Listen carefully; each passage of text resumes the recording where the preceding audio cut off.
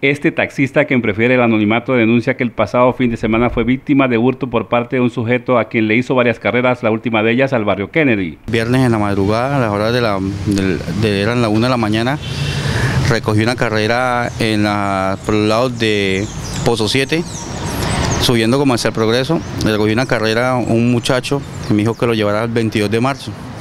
Lo llevé el 22 de marzo y el sujeto se bajó, fue a hacer algo, no sé, en una casa, volvió, se subió y me dijo que lo llevara al Kennedy.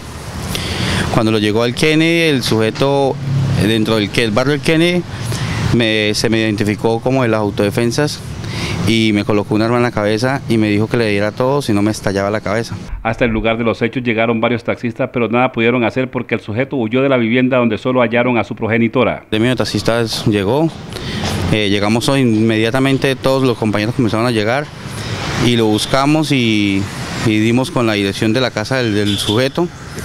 El sujeto vive ahí en el Kennedy, en el, barrio, en el mismo barrio, en el Kennedy, vive el sujeto, se llama Elber.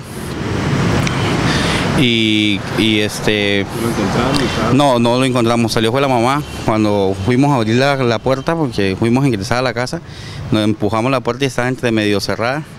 Se abrió la puerta y, nos metimos a la, a la vivienda y no el sujeto no estaba el gremio de taxistas muestra su preocupación porque en el sitio donde se presentó el hecho delictivo no es la primera vez que ellos son objeto de hurtos. Lo que sucede es que nosotros como gremio ya estamos cansados porque no es el primer atraco que nos, hacen en el barrio del Kenny. La verdad nos da pena como la comunidad del Kenny van a decir que no vamos a querer ir allá, pero es que ¿quién va a querer que lo roben? Todo el tiempo uno trabajando para que lleguen y, y le quiten lo poquito que uno está haciendo y se lo quiten en, ese barrio. Las autoridades ya conocen el caso de que fue víctima este taxista y quien reclama de ellas la captura del sujeto que lo atracó.